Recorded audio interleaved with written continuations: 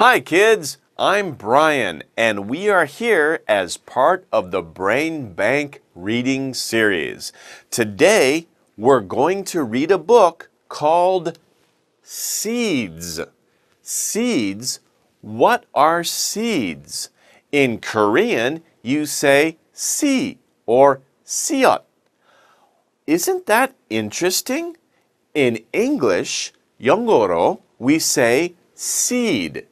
In Korean, 한국어로, you say see. 어, 너무 재밌어요. 영어로와 한국어 진짜 비슷한데요, right? It's really similar. They're almost the same. Seeds, see. 어떻게 했어요? Well, that's very interesting. Sometimes, sometimes, 가끔에, you can find similar features of English and Korean. But sometimes, not always, I'm sorry. But, okay. But in this case, seeds and see. Interesting. Let's learn about seeds. Okay? In our book, we have a table of contents. A table of contents. This tells us what topic is on which page. This is the page number. This is the topic. So the first topic, seeds. What page? Page 2. Here, this topic, animals and seeds, right? Dongmul wa si, okay? What page? Page 8. And down here, people and seeds, right? Saram wa si. People and seeds, what page? 12. Shipicho, right? Page 12. So we will talk about these different topics on these different pages. Let's begin with seeds. Here we see a lot of pictures and some text. Look at this picture here first. What do you see? Do you know these types of flowers? What kind of flowers are these? Do you know? These are sunflowers. Sunflowers. And this girl, it, what is she doing? What is this here? This is a pail. What's inside the pail? It's mul, water. Why does she have a water pail?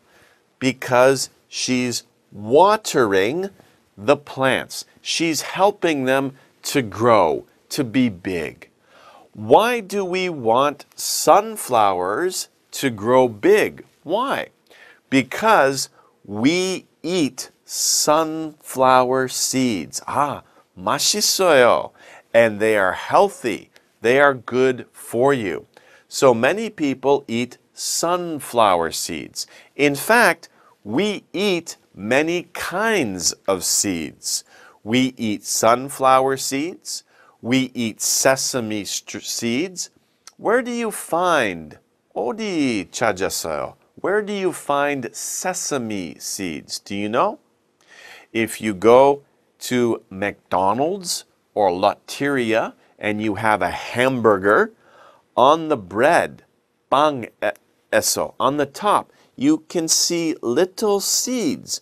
Those are sesame seeds. Some bread, not all bread, but some bread.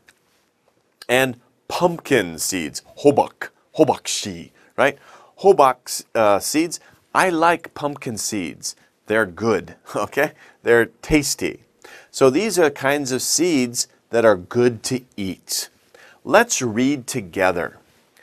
A seed is part of a plant's life cycle.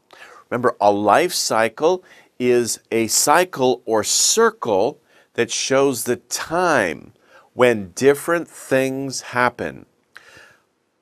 An animal or a plant is born. It grows. It gets bigger. It becomes an adult. It has seeds or babies of its own and the cycle starts again. That's a life cycle. The seed is part of the life cycle. The seed is the beginning of the life cycle. The beginning. Just like this is the beginning of this book, okay? Seeds come from plants. They come from plants. When they have water and warmth, they can grow into new plants. So seeds need two things. One thing is water. The second thing is warmth. Warmth, where do seeds get warmth? They get it from the sun. The sun will shine and warm the plants. And the plants take the sunlight, right? And they can grow bigger. They need water and they need warmth. Those are two of the things that plants need. They need other things, but those are the two main things. So we have the seed. What is it doing here? This shows part of the life cycle of a plant. Here is a seed. What happens to the seed? It goes and it grows into a small little plant here, a baby plant. We'll talk about that later. And here it becomes an adult plant. Okay?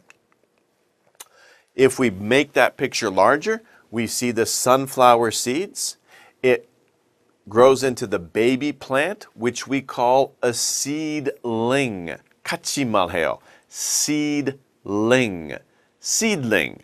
So a seedling is like a baby plant. It's just starting to grow. Where is the seed? The seed is under the ground. Then it becomes a plant with flower. It's an adult plant. An adult plant, and it has a flower. Where are the seeds? The seeds are inside the flower, and it starts again. This is the life cycle of a plant. We can see that here. The life of a sunflower. Okay, very interesting. Let's talk about wind and seeds. When we think about seeds, they need water, they need warmth, but they also need space. They need to travel. How do seeds go to another place to make a new plant? How do they do that? Well, let's talk about wind. Wind and seeds. In this picture, what do you see? You see a boy, he's blowing on a flower, a type of plant. And you see these little things here? These are seeds. We'll talk about those very soon. Let's read. Seeds get to new places in many ways. So there are many ways that seeds go and travel to make new plants. Sometimes the wind blows them. So we have the wind, and the wind blows the seeds to different places. Okay? Some seeds have little parachutes to help them float. A parachute, okay, if I jump from a plane, I'm in an airplane, bihengi day, and I go jump, ah, am I crazy? No, I have a parachute. I pull a string and a big piece of cloth stops me. That's a parachute. And I can fly through the air with my parachute. Some seeds have wings. We'll see a picture of that, okay? So that's uh, uh, two ways, or one way that seeds will travel.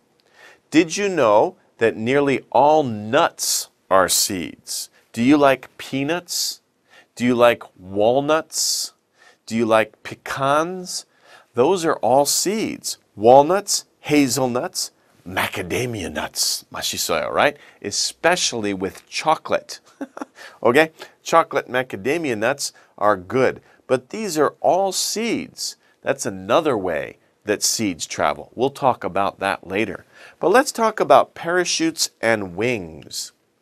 Here we see the same picture. The boy, he's blowing on a plant. What kind of plant? What's the name? The name is dandelion. Do you know dandelions? When you go out in the spring and you can see the dandelion, you can pick it and blow the dandelion, all the little seeds fly away. These are like parachutes.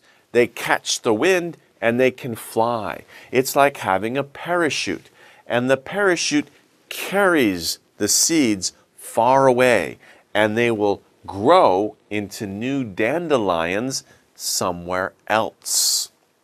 Now, some seeds have wings. Wow, it's really chemisoil. It's like a butterfly or a bat, right?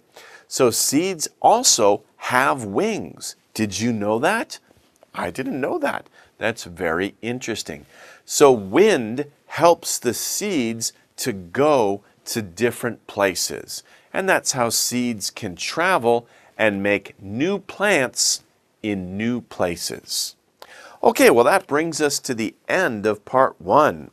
What will we discover about plants in part two? I hope you join me in part two and we'll learn more about seeds. See you then.